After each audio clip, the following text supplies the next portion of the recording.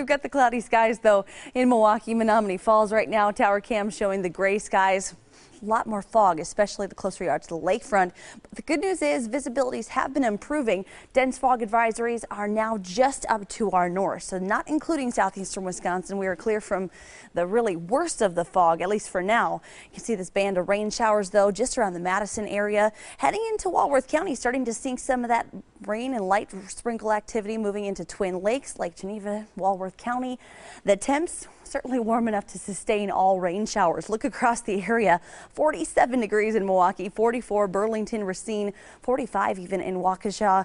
Not the best news for those uh, ski hills, but at least they've got the snow cover already there for many of those spots. The winds bringing up that warmth, bringing up the moisture as well from the southeast, about 5 to 15 miles an hour. And you can see across the area, basically just cloud cover. And yes, do have some of that uh, fog right now, especially around the Port Washington area where we're looking at mainly visibilities around about a quarter of a mile to a half a mile. Those are improving though. And again, the temps underneath this warm front, incredibly mild for December. Here's that warm front. Notice as we go into the rest of the evening after about 6 o'clock, better chance to see more of us see some of those rain showers as that main band swings through. Overnight, though, better chance to see rain accumulating after about 3, 4 o'clock in the morning. And as we go into your Tuesday afternoon on the back side of this system, some colder air starts to work on in. And notice by about 2 o'clock, starting to watch any rain chance Change over to a little bit of a light snow chance.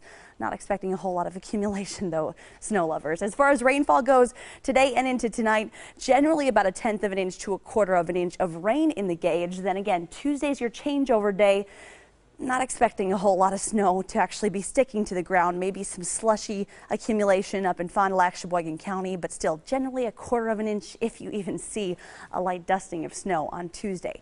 Breaking it down though for today, 48 degrees. Yes, unseasonably mild for December. Foggy conditions, those rain showers moving on in. So I guess dust off the umbrella if you haven't used that for a while. Overnight, 38 degrees. Rain showers still likely again up to about a quarter of an inch. And then we get into your Tuesday and we watch that rain snow mix change over to just some light snow showers. It will be a bit breezy, high of 41 degrees. That temp will be falling throughout the afternoon on Wednesday, high of only 30. Thursday, a bit more sunshine, but a cold day, 28 degrees. We watch those temps start to climb up after that.